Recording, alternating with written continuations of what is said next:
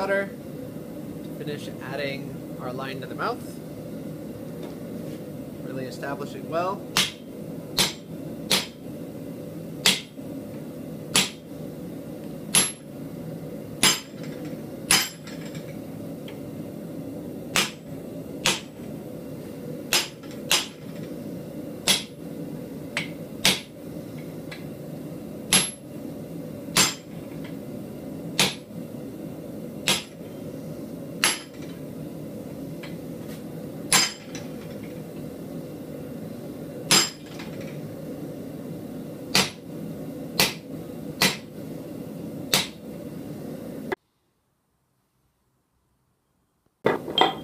And now we can use the butcher to establish the tooth line.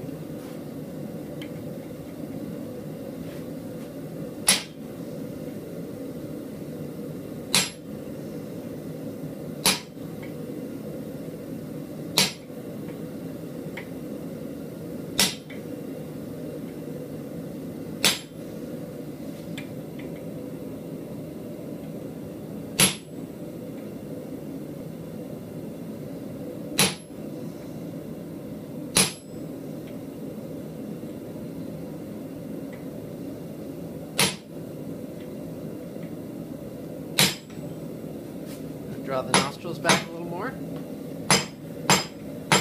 Give myself some more room to work. Really get that snarl going.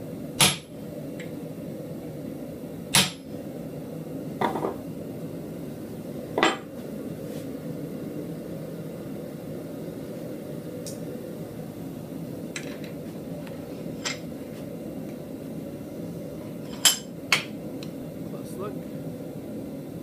Established the mouth here.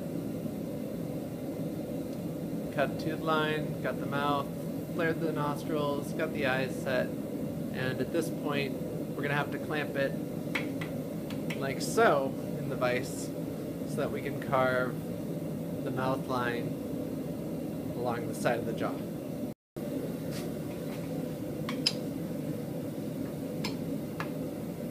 Alright.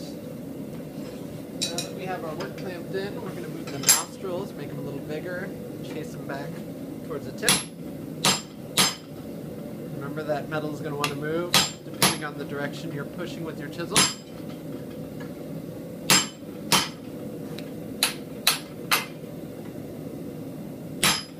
There we go.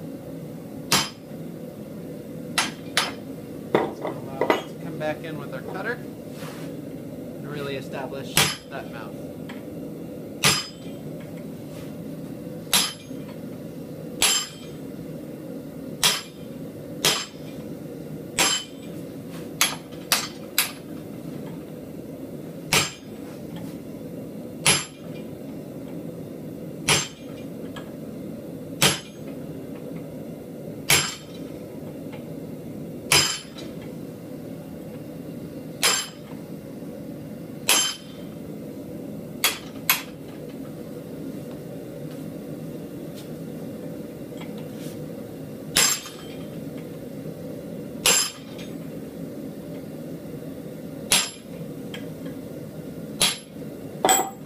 Butcher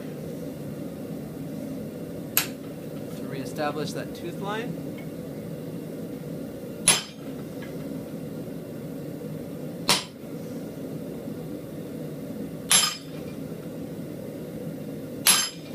Then roll it over.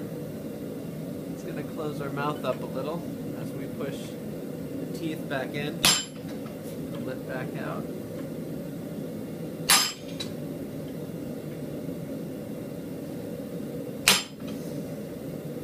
And then we're going to pull this lower lip down with some drawing blows.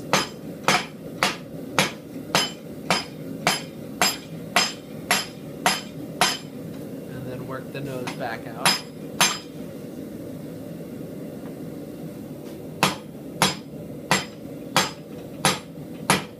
As you do those drawing blows, occasionally you'll lose your marking for the tooth.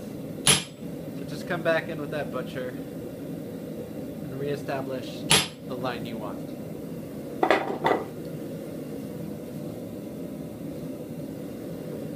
Get this out of the vise so you can take a look.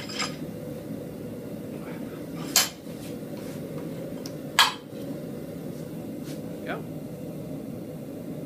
You can see we've got a reasonable mouth started. The eyes are relatively good, but uh, in the jawline, we'll probably have to go onto the anvil to cut that as deep as we'd like.